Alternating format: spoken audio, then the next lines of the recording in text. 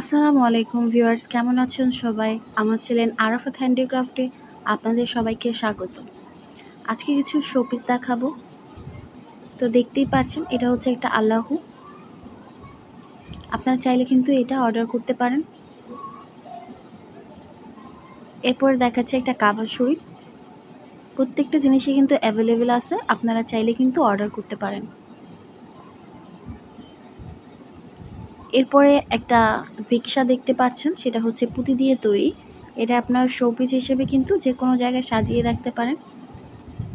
এটা কিন্তু একদম কমপ্লিট করা সিট আছে এবং ড্রাইভারের সিট সহ একদম পুরো কমপ্লিট করা একটা সুন্দর একটা রিক্সা।